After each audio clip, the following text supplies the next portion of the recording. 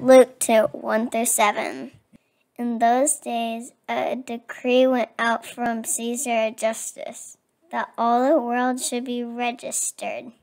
This was the first registration when Quirinius was governor of Syria, and Joseph also went up from Galilee, from the town of Nazareth to Judea, to the city of David, which is called Bethlehem, because he was of the house and lineage of David, to be registered with Mary, his betrothed who was with child. And while they were there, the time came for her to give birth.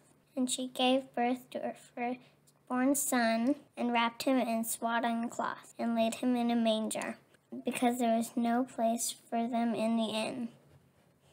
We bring cloth to remind us that the baby Jesus was wrapped in bands of cloth and laid in a manger. The cloth also reminds us after Jesus' death his friends took his body and wrapped it in linen cloth and laid it in the tomb